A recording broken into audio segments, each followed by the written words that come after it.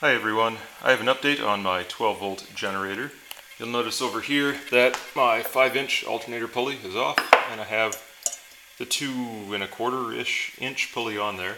I also have this smaller 3L340 belt, 34 inch 3L uh, half inch ish uh, width belt. And over here on the engine, uh, this isn't tightened right now, but on the engine I have the same 4 inch, uh, 3.95 actually, diameter pulley on here. With the smaller belt on here, it is a 3.2 I think pitch pulley on that one, and the alternator over here is uh, something like a 2-ish pitch. Anyway, the alternator spins much faster in this configuration. Now, I had trouble getting the output current that I really wanted out of this alternator.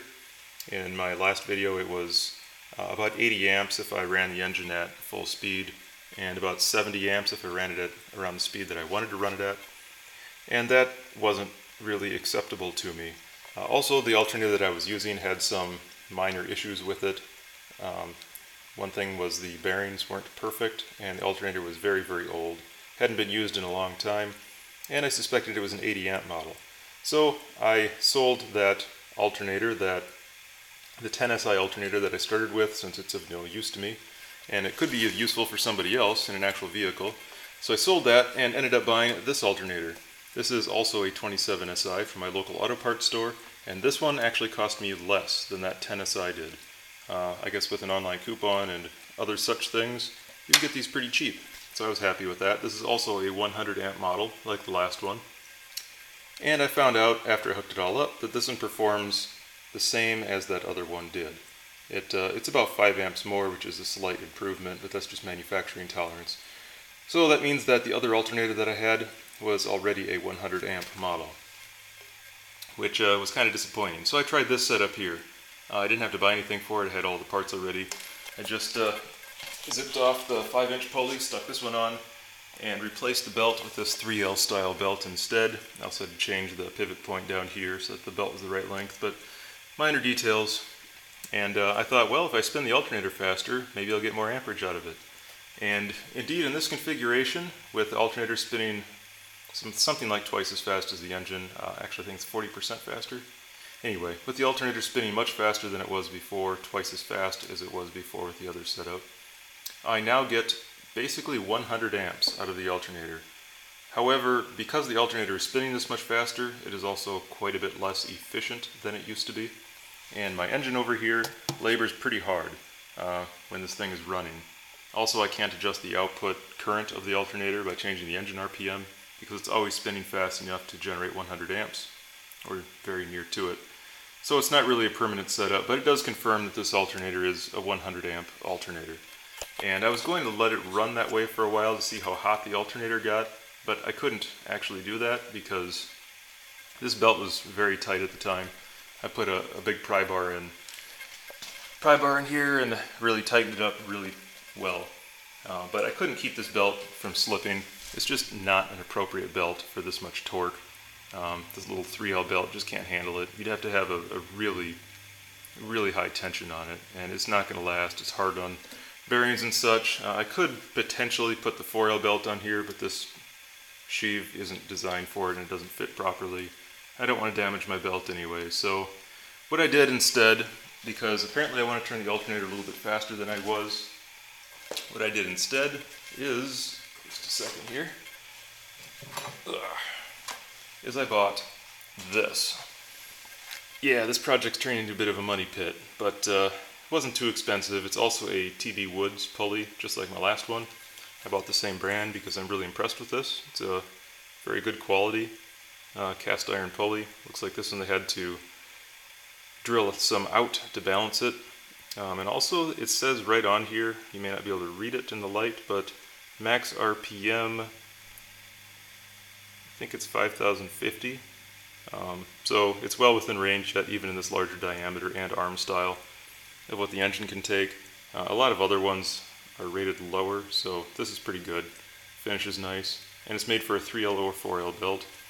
Anyway, so this is a 6 inch rather than a 5 inch pulley.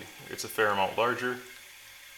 I can put that on, it'll spin the alternator about 30% faster than my other one when you consider the belt pitch in there, and allow me to use the 4L belt, not this 3L belt, which I can't keep from slipping without making insanely tight. And this 5 inch billet aluminum alternator pulley that I have is also a 4L one, so uh, it's not a problem at all to keep it from slipping with the proper belt, so I'll just put that belt on there and give this thing a try again. Hopefully I can now get the desired 80 amps out of the alternator, but uh, we'll have to see. I'll hook it up and uh, see how it works. Also, as I mentioned, this engine was laboring pretty hard uh, with this inefficient setup like I have here with the small, small diameter and high speed on the alternator. So uh, with this a better setup, which is basically a one-to-one, -one, just like I wanted to start with, uh, ratio. Hopefully everything will work out okay. I'll have to uh, put this on here and find out. Good news. I ran my setup with all of the appropriate diagnostic equipment here for another 20 minutes or so and uh, tried a few various things and I really couldn't be happier with how it runs. I did put on this larger 5 inch diameter pulley, like I said I would. There's still a 5 inch pulley over here in the alternator. And I did buy a longer belt. The previous belt that I had was just a standard black one. Uh, this is a Kevlar reinforced belt, so this is a far higher quality belt. And I needed one that was 2 inches longer anyway, so I just bought this one. You can get the better quality belts. This one only costs 2 bucks more than the cheap ones, so yeah, why not? I should have just done that in the first place. But the setup, as I mentioned, worked extremely well. First of all, with the alternator spinning this much slower than it was in my other test where I used this small alternator pulley, the alternator is far more efficient. You can tell that quite easily because the engine here does not labor much at all powering this. And the output, because it's spinning faster than it was with the 4 inch pulley on the engine, is right up in line with what I want. Uh, if I take the uh, throttle on the engine and put it all the way up, it will give me 100 amps out of the alternator. Uh, at uh, 2500 RPMs, it gives me 90 amps, and at idle, which is 1800 to 2000, it still gives me about 70 amps of output. And at all of those configurations, this engine doesn't have any trouble at all turning the alternator over. There's still a fair amount of governor left on it, so it seems to be very well matched for this alternator. So there still are a few problems with this setup, one of them being the board that this is mounted to isn't really sturdy enough. I'll have to reinforce that with some L channel, channel or C channel or something uh, because this 3 quarter inch MDF, although extremely heavy and very, very strong actually, isn't strong enough for this. There's just too much vibration and uh, it bends a little bit, bounces around. So I need to reinforce that. Some of this cabling, obviously, I need to do something a little bit more permanent with, but it seems to work just fine that way. And just like I planned from the start, 5 inch pulley here, 5 inch pulley here. And that is the correct ratio, uh, 1 to 1. So that's what I should have done in the first place. I tried direct drive first with a coupler, and that coupler failed, so I went back to the standard belt drive with some specialized pulleys. And this setup does work, although it's just kind of a pain.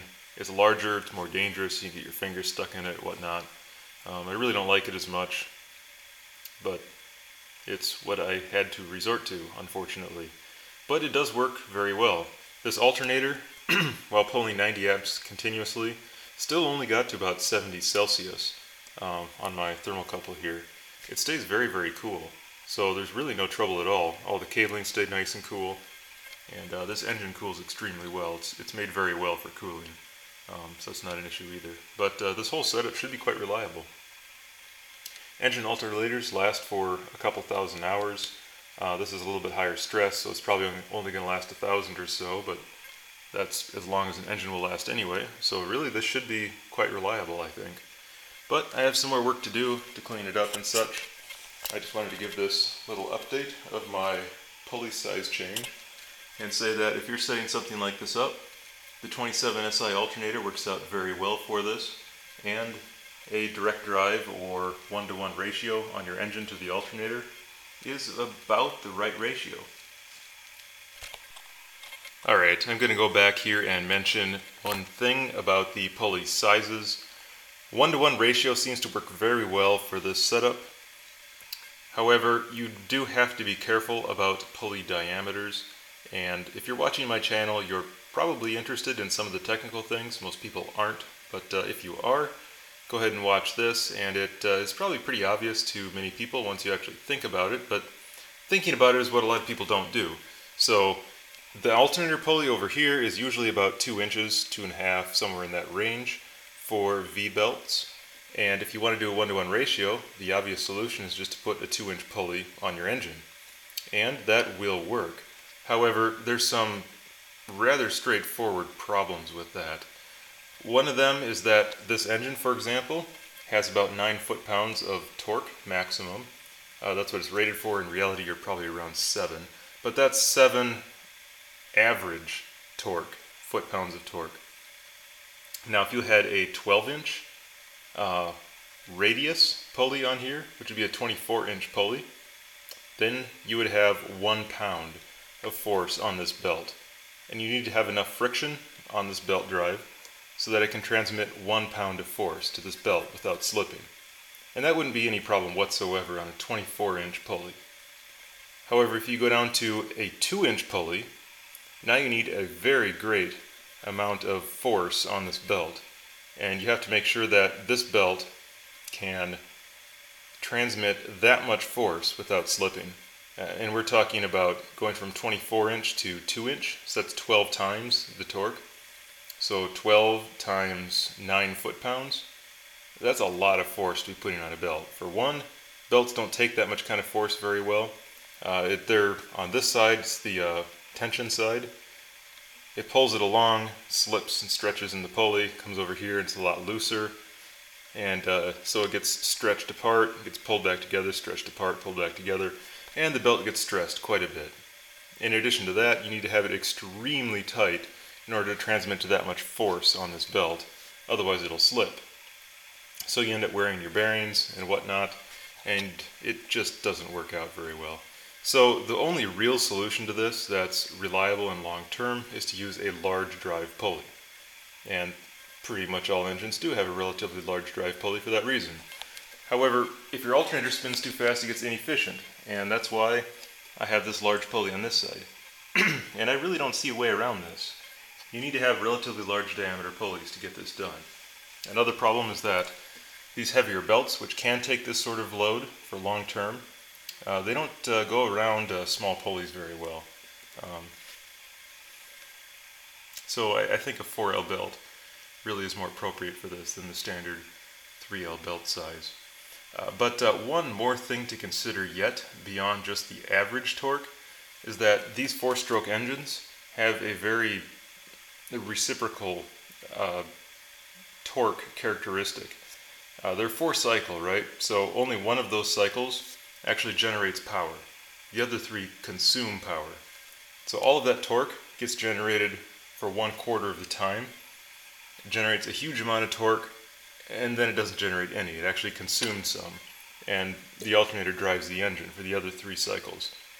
And then it has a big torque pulse again, and then it just idles for the other three cycles and consumes power once again.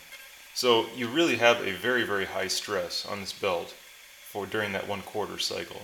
It's a lot more than the average torque. So it, it's pretty important to have a large pulley in your engine. And uh, Anyway, I just thought I'd mention that, some of the technical details. Uh, you can think about that yourself and come to your own conclusions on it, but uh, that's just some of my reasoning for why I have this setup with a 5-inch pulley here and a 5-inch pulley in the alternator. Anyway, I think that'll end this segment. Uh, I'll probably have more later. Maybe, maybe not, we'll see, but uh, thanks for watching.